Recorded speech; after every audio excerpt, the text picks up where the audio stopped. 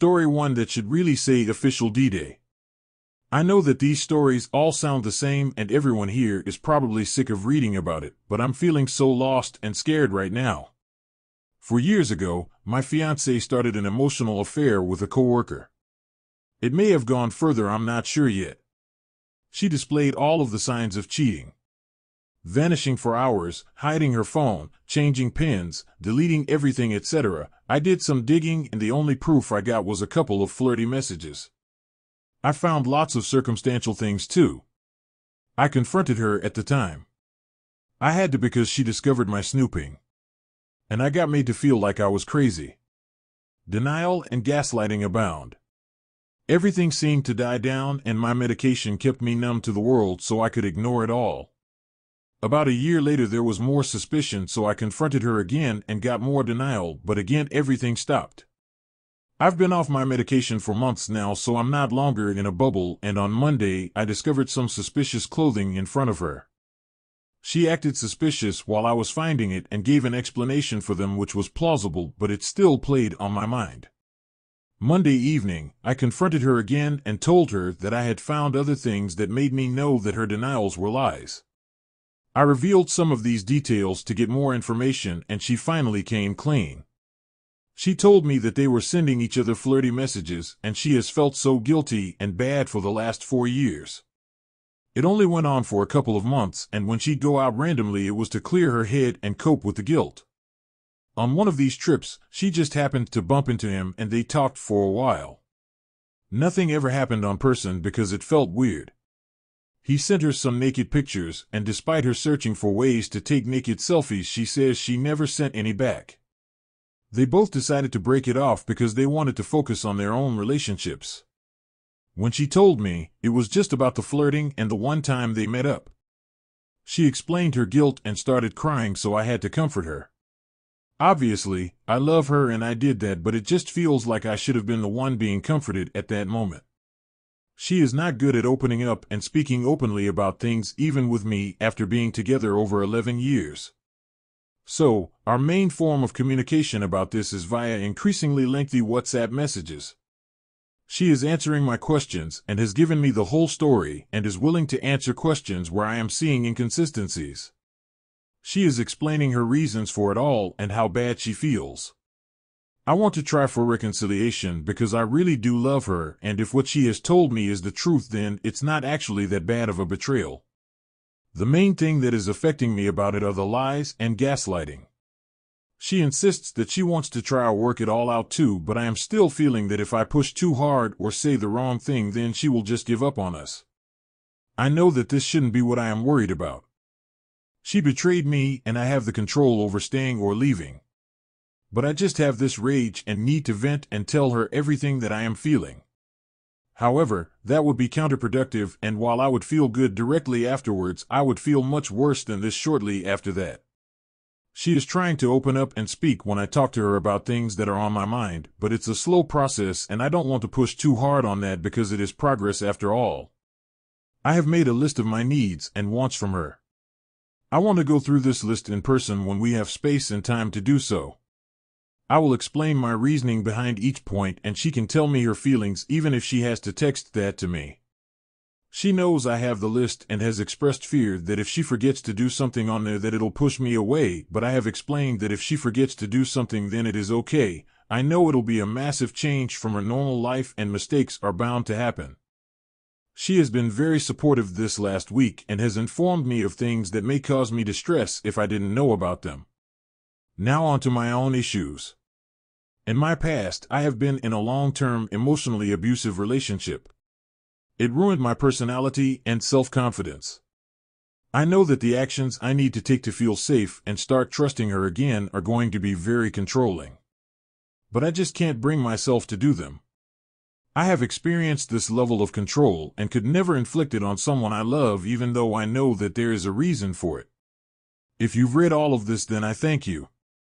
Any advice or support would be really appreciated. Hi everyone. Thank you for the replies and the harsh truths. I do need to hear them. I'll just clarify a few things. I have taken all of the advice on board and am working on standing up for myself more. The last message I sent her told her that I'm not willing to continue with this lack of control and am stopping let her walk all over me. So, the emotional affair only lasted two to three months and it was four years ago. After my day then where I confronted her and was gaslight all of the weird activity stopped or was more well hidden. The activity a year or so later was him talking to her about some family issues and her comforting him. Apart from the initial two to three months and that second time nothing seemed amiss. Although this is her story and I am taking it with a grain of salt. She claims that it happened because she thinks she has body dysmorphia and that is why she had to Google how to take tasteful naked selfies and why she claims she never sent them. She claims that her searches for secret picture folder apps for her phone was because she wrote me a note explaining what she had done and wanted to send it to me, and when she knew I was going through her phone, she screenshotted it and wanted to hide the picture. She claims that it only started because she was at a low point and couldn't open up to me about it, and despite all of my compliments to her and obvious attraction to her, she thought it was my duty as her fiancé to be like that. So when her coworker, who was technically her boss, complimented her, she knew he didn't have to and liked the attention. I am obviously taking these claims with a grain of salt too. I have been in therapy for my past issues, and I am over the trauma. However, I am too much of a decent person to impose that type of control on anyone I love. Which is why I've been struggling. When it comes to reconciliation, I know it is quick. However, I have spent the last four years going over it in my mind repeatedly and picturing the worst case scenarios obsessively. If she is telling the truth about what really happened, then it is far tamer than anything I had pictured, so my feelings on the matter are severely conflicted. I will not be proceeding with any efforts to reconcile until I can be as sure as possible that she is being honest about the extent of it. Which I know I may never actually get as every bit of communication they had is gone. She is currently still working with him, but claims that they aren't friends anymore and only talk about work stuff. She has just been promoted, and I am conflicted about an ultimatum about leaving the job as I have no proper career due to my abusive ex, and again, I am not capable of inflicting that kind of thing on someone I love. He and his girlfriend have split up. Last week, I had checked their Facebook profiles out of curiosity as I did that every now and again and saw that the relationship status was now hidden. I got in contact with her and asked if she knew anything about the actions four years ago, and she had no idea and has since set her Facebook status to single. She obviously confronted him as he messaged my fiancée the next day to tell her I'd been asking questions. I have been shown these messages, and he seemed more concerned with insisting that if anything comes out, it wasn't due to him. Thankfully, I had been told the story of what happened on Monday night, and so I know that she didn't just tell me because of that fact. It definitely didn't feel like it was ongoing. When it started, there was a vast change in her personality and actions. A couple of months later, she was acting normal again. I'm unsure if that message means there is more to it or not. His ex works for the same company as them, but in a nearby branch, and I have been informed now that she is very opinionated and would have no problem telling everyone. So, it could have just been about if people at work find out. I'm pretty sure a superior sending naked pictures is a sackable offense. It also could have been that he was saying it's not his fault that I was asking questions. I only saw the conversation they had on WhatsApp and have no idea if he knows that I know everything I now do.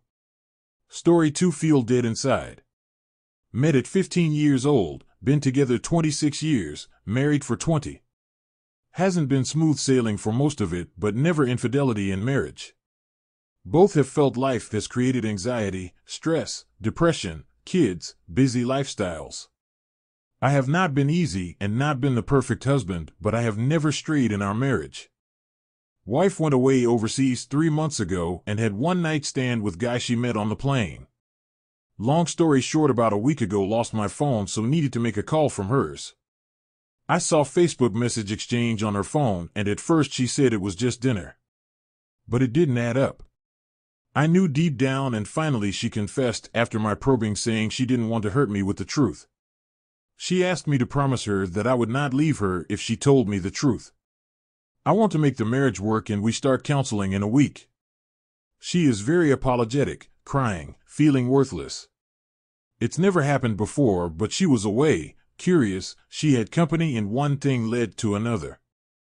She is not a bad person, she is a wonderful mother and has been a good wife, but she has broken my heart. I will not break the family for the kid's sake. Please no judging, but just looking for feedback to start the journey of rebuilding the relationship from scratch. Just devastated and feel such grief and loss. Appreciate all the feedback but overreaction assumptions made. Wife was not away for three months. It was four days overseas, and the OM lives on another continent, so no continued A. Checked his Facebook, and he is single. The messages were only over three days three months ago. Was PS so no health risk? Definite ONS.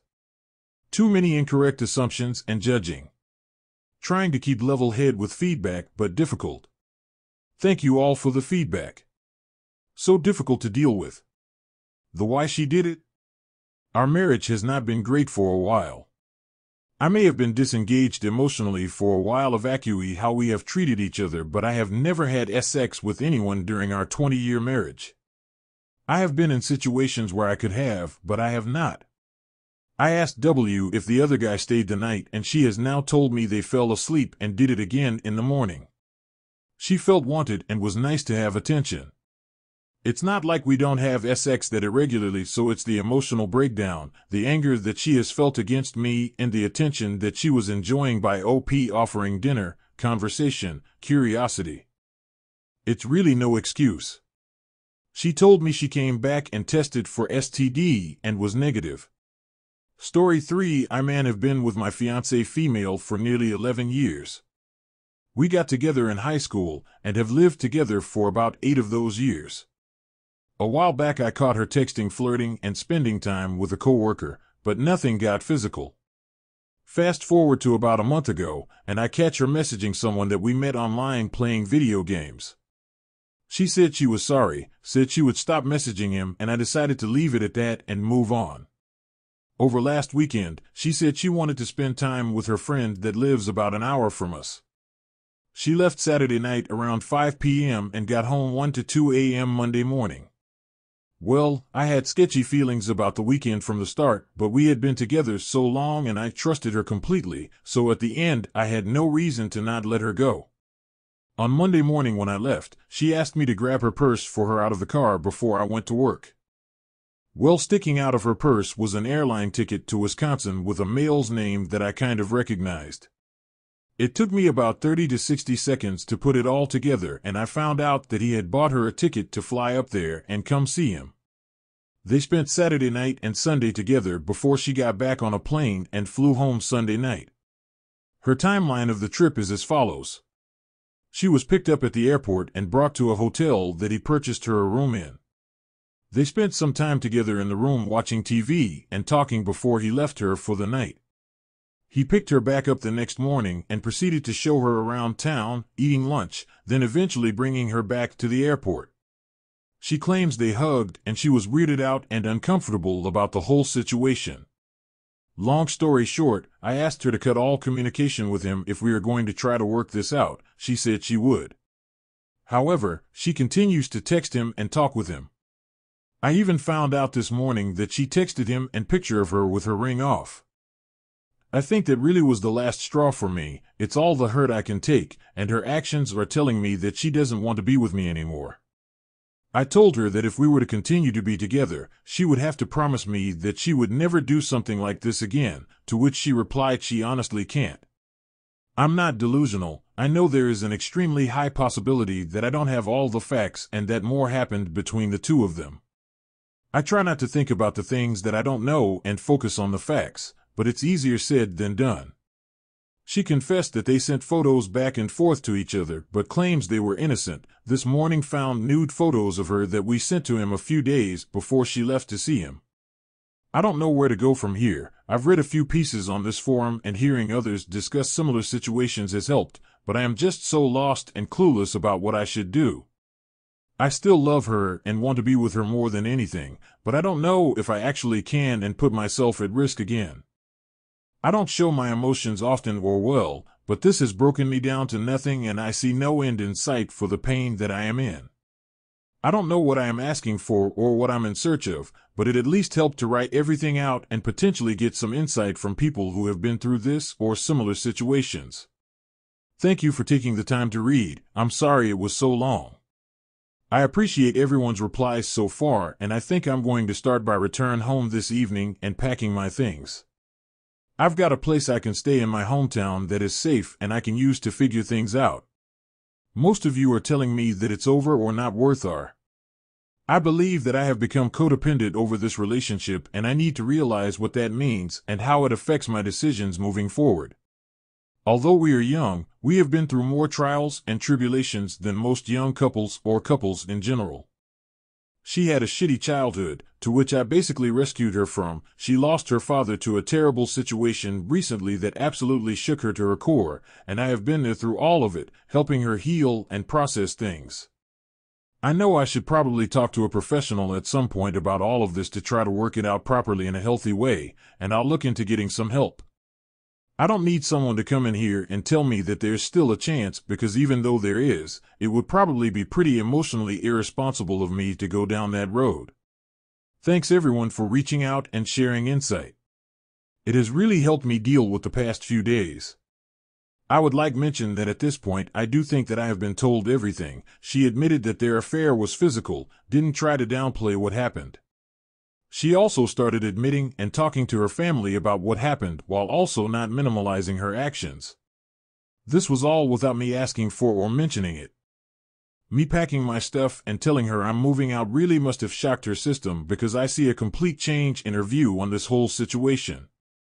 I will do my best to try to not get lulled into a false sense of security, but I can't help but to think that she is starting to understand and accept responsibility for what she's done and begun to understand what she put us through. This is a huge step in the right direction if in fact I do decide to attempt or doesn't make the decision any easier, but it does make me feel better and boost my self-worth confidence. Is on a long road to recovery? We did go on a date last night, which we really haven't done in a while. Ate dinner, had some drinks, talked about things openly, cried, laughed, hugged, cuddled in bed, L made out like we hadn't in too long.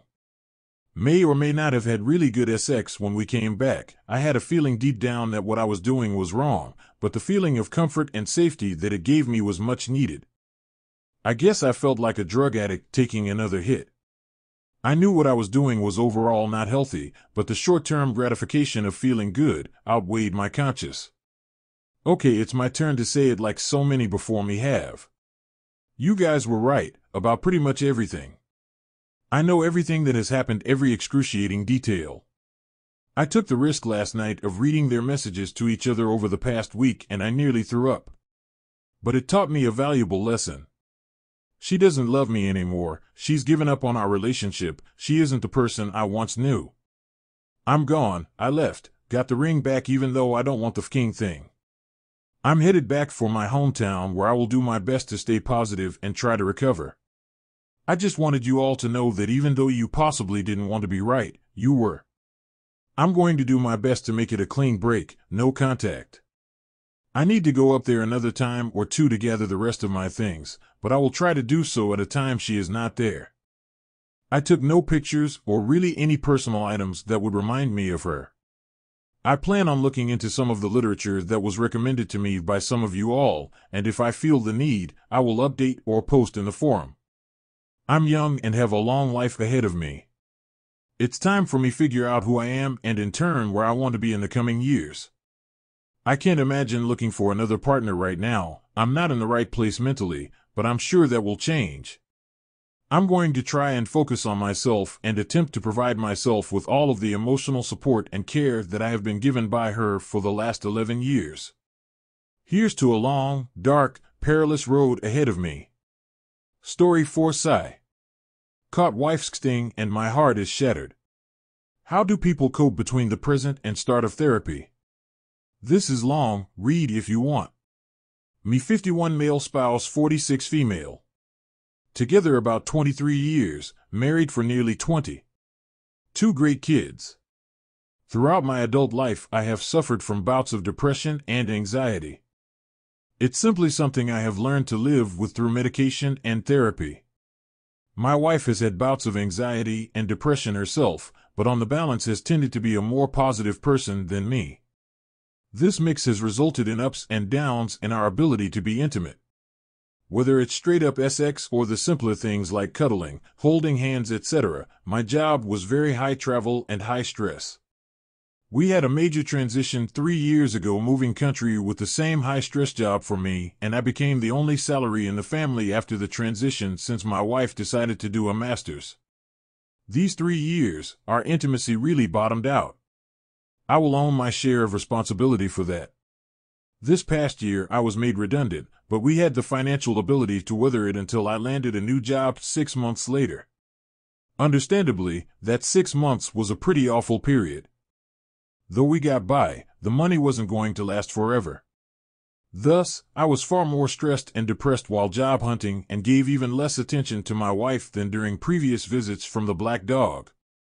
She did communicate how unhappy she was about this, but I figured she understood how stressed I was and needed to get a job to keep us afloat. Landed the job, about two months into it now, and so felt things were de-stressing and turning around. But I started have weird, Intuitions about my wife. Small, subtle things. Like the way her lips felt when I kissed her and how she deflected my attempts to plan ways for us to reconnect on a more intimate level example, a hotel escape for the night. Things came to a strange head about four nights ago when she went out for a bite to eat and drink on her own. This was nothing particularly unusual, but she was unusually coy about the whole thing when she finally got home. Wherever the feeling came from, something told me to check her phone. So, when she was in the shower three days ago, I checked and sure enough, she's been sexting with someone she met online gaming. It was as graphic as you can imagine in terms of images and messages. Felt like being punched in the gut while being run through the heart with a hot, steel blade from behind. When she got out of the shower, I asked if about the previous night at the bar and if there was anything she wanted to tell me. She looked a little baffled. I pressed and then finally asked, Who is? She knew I knew. A bit of a blur now trying to remember how we talked about it, but she was. I feel like a piece of shit. I know I did a horrible thing. I feel awful. Don't want to break up our family. She said she'd delete it all, cut off contact, block the number. Whatever. Claims this is the one and only time it happened. I really broke down, and though she was upset, no real breakdown like me. I asked if she still loved me, and got the line almost out of a movie, of course I still love you, but I'm not there romantically with us anymore. It had been going on for about three months, which means it was while I was still going through the stress of finding a job and then starting that job. I feel sick. Have had a few awful sleeps. Hard to focus at the new job. She did have a breakdown two days ago with one of our mutual friends, but whenever I talk to her about how painful this is, I don't get the kind of emotional response from her I would have imagined given this situation. To add salt to the wound, she has a trip on the books to visit some friends in a couple months. Again, not unusual. Throughout all our years together, we have often gone on solo trips. However, one of the messages to the AP she mentioned the trip and the dates. Of course, she claimed she really wasn't going to meet with him, but I just don't believe that if I hadn't uncovered all this, it was a real possibility for this to be even worse. Had a soul-bearing talk with her yesterday. Again, I felt raw and open, but didn't get the same sense or acknowledgement of the pain she causes from her. She points out her reaction to trauma is numbness for while this is true, but still. I tell her I'm now not happy about this solo trip now, but she's less than enthusiastic about me wanting her to cancel it. There are a number of other people involved in it as well. Just about everyone I've talked to thinks at a minimum, for her to go through with the trip is somewhat tone deaf. At worst, how can I trust anymore? She reiterated she didn't want to see our family break up and agreed to go to couples therapy, but I don't know if she is really genuine or not. I have some great friends I can lean on who are keeping me sane for the moment. She has acknowledged what she did is 100% her fault decision, but also frames it in, there were needs I wasn't getting and I was afraid to confront you again because I felt I was just holding you tight to keep you from going over the edge. Well, we're over the edge now. It's early days, so everything is very raw still. Just trying to cope with this searing, steel blade in my heart at the moment. At the same time, I'm coping with the conflict that I do love her and fighting the muscle memory of reflexively wanting to give her a hug coming home or when leaving or other simple acknowledgments of affection I'd routinely do because I feel doing that would kind of normalizes the situation. I don't want our lives together or our family to end like this, so I will do the therapy. Between now and therapy, how do people cope? The ultimate irony. She is a counselor and doing a further, advanced degree in it. Sigh. Thank you. It feels kind of the same as when I've lost people close to me. There are strange periods of time where things seem normal and you simply forget the whole thing. It never happened. And then reality comes crushing back. I do have my own therapist. Fortunately, have for years. Ironically, I just cut back to twice a month from almost weekly but re-upped it again. Told him he was going to earn his copay thank you all. We had another discussion tonight. She did seem far more remorseful. She has agreed to cancel the trip. We'll see. She has broken off all contact with the OP? Working on understanding the barbs. But then she did the usual trying to pull it back to the summer when she said she told me how bad things were for her and I did shit about it. I tried to hold my ground and pouting out that one didn't justify the other. I don't know if that got through or not. I do appreciate the strong views. Things are simply so raw right now, and it's earlier days that I don't think I can go down the lawyer path right now. But it's going to be a real struggle to get through the holidays. Neither of us is from the area where we currently live, so we're hosting Christmas Eve for our group of neighborhood friends, and then on Christmas Day our family is joining another close set of family friends for Christmas Day dinner. I don't know how I'm going to fake it to get through all of that. In a way, it's easier than spending it with family because I think my brain would blow a fuse watching her happily interact with them my family loves her. As I mentioned, we have two kids, one with mental health issues of their own, so I want to keep things stable. But can anyone share insight on how to cope during this period where it's expected to be social and festive? Thanks.